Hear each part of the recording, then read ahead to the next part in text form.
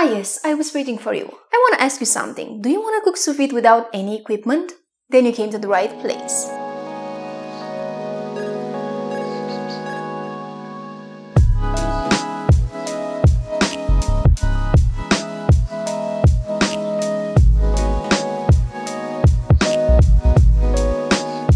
What up guys, Anna here, welcome back to my kitchen. I'd argue a few things in life compared to how big, thick, juicy meat tastes in your mouth. But getting them right every single time is hard. That's where sous vide comes to the rescue. But what if you don't have or don't want to buy sous vide equipment? Well, I'm gonna show you how to get the perfect state without any equipment. So, let's cook this, shall we? For those hearing for the first time about sous vide and are like, what the fuck is sous vide? Quick intro. Sous vide is the technique of cooking food in a vacuum sealed bag in a water bath for a long time at a constant temperature. Sous vide was developed by French people. We make everything harder in the kitchen. And it translates to under vacuum. Why would you ever cook like this, you'd ask? This is not a fish. Look at me, I'm a fish. Shut up, Jeff, you're drunk again. Because this method is so easy, accurate, and predictable for getting the steak doneness right every time. No more overcooked steak, top to bottom, medium rare here. Especially for thicker pieces that are so easy to mess up. No more poking, testing, flipping, none of that. And it's so easy to follow by any beginner. Usually, sous vide involves spending half of your paycheck on a vacuum sealer that you're gonna use to vacuum seal your steak in a special bag. Then buy a sous vide machine that will maintain the water temperature at a constant temperature during cooking. Forget about all of that. I'm not a fan of having not one but two expensive single-purpose toys occupying space in my small kitchen, especially when I can cook the same top-notch quality steak without them. Here's how we're gonna hack our way into this. Take a pot, in this case the size matters, so use a big one. The more water you have, the better we'll be able to control the temperature during cooking. Smaller water volumes take less energy to increase their temperature. Fill it up with water and put it on the stovetop on medium flame. Then the only special tool we need is get ready for this high-tech gadget, a thermometer, which goes into the water, not the steak. The idea here is that the water will transfer the heat to our steak until both the water and the steak will have the same temperature. This is a high accuracy thermometer like this one, not the one that I'm showing you here. I was unable to find in all this mess the right thermometer, so I ended up filming with this one. When your thermometer gets to 129, 133 range, perfect for medium rare steak, take your beautiful sexy piece of premium ribeye, season it with salt. Sometimes I like to use my tears instead of salt. And for a better flavor, pretend you're kidnapping it Dexter style into a Ziploc freezer bag. Hold on Anna, is it safe to use a Ziploc bag? Yep, it is, because it's made out of polyethylene which is safe. Its melting point is 220 Fahrenheit, way higher than our cooking temp. Then waterboard that steak. By submerging it in water, all the air will be pushed out of the bag and the steak will stay underwater during cooking. See, no vacuum machine needed. Science, bitch! Also during cooking, the flame should be on the lowest setting of your stovetop. Now, we have to decide the cooking time based on the thickness of our steak. Mine is 1.5 inch thick, it will be done in 1.5 hours. The minimum time is about 1 hour for 1 or less than 1 inch thickness, then add 30 minutes for every additional half of an inch. What about the cooking temperature? Well, it depends on how you like your steak. Go with higher temperature for a well done steak. Remember, sous vide means cooking at a constant temperature throughout the entire cooking time. How can we do this? Well, every 30 minutes come back and check the water temp. If it jumped out of the desired range, don't have a heart attack, it's all good, you relax. If it's too low, turn up the flame. If it's too high, just remove some of the hot water and replace it with some fresh cold water. If all this checking bothers you, then buy a sous vide machine. It doesn't bother me since I spend most of my time in the kitchen, the right place for any woman, according to my grandpa's generation of men. Sous vide machines also have an additional function. They circulate the water to make sure that the temperature is equal throughout the entire pot. That's why when I check the temperature, I also give the water a stir. Does that really matter? I did a little experiment. I measured the temperature at the bottom, middle and top of the pot every 15 minutes. The results now show a significant temperature difference between bottom, middle and top parts of the pot. All are roughly in the same range, give or take 5 degrees. And now we just wait for time to pass. During this time, we could practice the accordion, improve our quantum physics skills, or cook some side dishes to go with the steak, which in my case is another steak. Nothing better than steak on steak action. One and a half hours later, our steak is almost ready. Take the bag out of the water and the steak out of the bag. It looks so good. No, no it doesn't. It looks grey, sad and depressed, just like me when my boyfriend dumped me. So let's put some color on that steak by searing it in a pan. First, we have to pat it dry since water is the biggest enemy of developing the crust. Then, take whatever pan you have available. For this, I like using the copper one and not the cast iron pan. Put some fresh tears, also known as butter, and be generous with it. This is not a good time to think about your diet. Think about it afterwards, when it will be too late. That's what I do.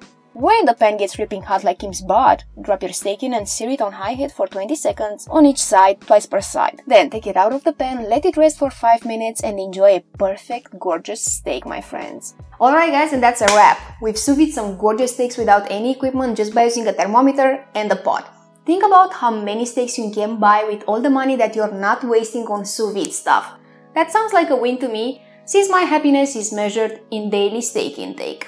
Anyways, big announcement, we've passed 100 subscribers. I wanna thank you guys so much for all the support and kind words that I have received lately, but it's time to give away that big bread box. The winner of the challenge is this person right here. I'm sorry, I'm not even going to attempt to pronounce your name. Please DM me on my Instagram, which is down below to claim your prize. Anyways, thank you so much for watching. If you enjoyed spending time with me, destroy that subscribe button, teach that YouTube algorithm who's boss, and like and comment on the video. And until next time, remember, life is hard, get used to it.